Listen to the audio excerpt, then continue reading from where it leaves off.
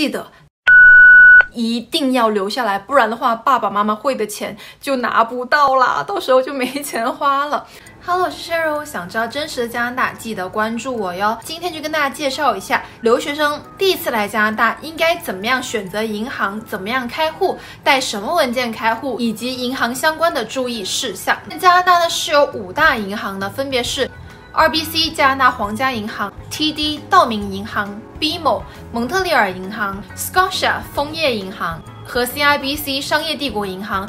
留学生刚来加拿大应该怎么选择银行呢？看到有些攻略说，千万不要去图方便，只是找一个离家近或者离学校近的银行，而是要去好好选择啊什么样？我倒是不太同意这种观念。我觉得吧，留学生首先你只有十几岁，你是来留学的，你不是来赚钱的。但当然，留学期间赚钱大家都希望，只不过刚开户肯定是以最方便、最快捷、最省事儿为目的。那话说在前面呢，我不是这些专业人士，我只是通过我自己和身边。朋友的经验跟大家分享，如果有哪里说错的话，欢迎在评论区里指正啊。那除了这五大行以外，还有很多其他的小银行。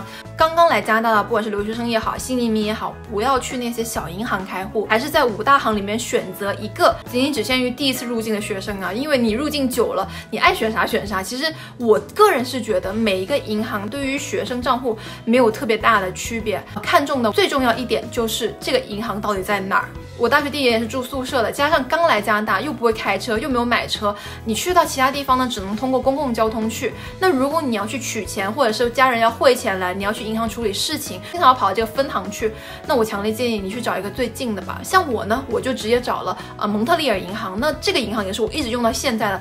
再次声明啊，我不是什么代言人，我也不是在 B 某工作，我跟他们一点关系都没有的。我身边的同学们呢，绝大部分也都是在蒙特利尔银行开户的，因为我们学校里面就有一个蒙特利尔银行的分行。这当然了，这是我们学校，你们就看你们住在哪里，或者是你们学校附近有什么银行就可以了。我有几个朋友，他们是在其他银行开户，那他们想取个钱根本就取不了。如果你要去跨行取钱，你还要给手续费，要办什么事情的话，还要搭车专门去办。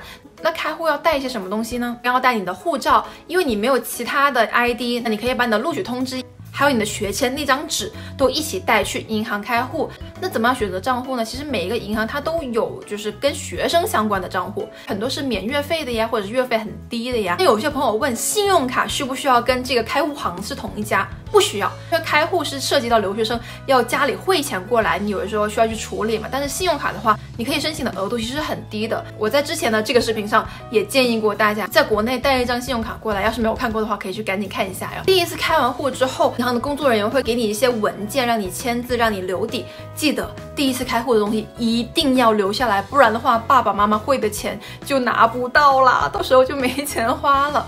这一叠文件里面是有你的银行信息，你父母在国内给你汇钱的，是必须要这些信息才能汇得了的。那我记得的信息是包括银行的全称、银行的代码、分行的代码、分行的地址以及你的账户号码。如果留学生你搞不清楚的话，你就记得那个银行哥哥姐姐给你的那叠东西别扔，你全部把它给扫描下来或者照下来发给你爸妈，让你的父母去问一下国内的银行人员，他们就知道应该怎么样填了。因为视频时长关系，怕大家听无聊了，那下一期再跟大家讲讲留学生第一次入境加拿大开户的注意事项。那这些注意事项是非常必要的，不然的话很有可能亏大发了哟。想知道更多真实的加拿大，记得关注我，我们明天见。拜拜。